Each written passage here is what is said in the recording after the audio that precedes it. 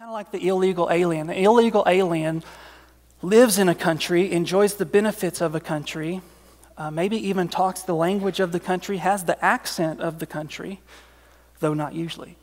Uh, but they're not, they haven't actually done what it takes to become a citizen of the country.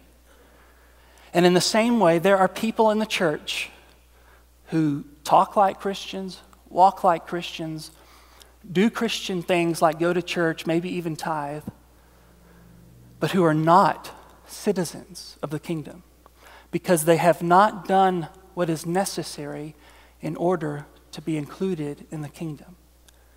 And I know that is very unpopular, and I know that is not culturally acceptable.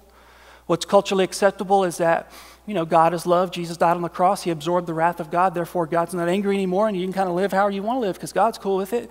But that is not what the Bible teaches. What, what, the Bible, what the Bible teaches is that there are wheat and tares in every church. There are the real McCoy, and then there are the fakers and the posers. There are people who say that they're believers and they have the Holy Spirit living in them, revolutionizing their lives. And then there are people who say that they're believers. Their lives are totally void of the power of the Holy Spirit and they have deluded themselves. And Paul says, Don't be deceived.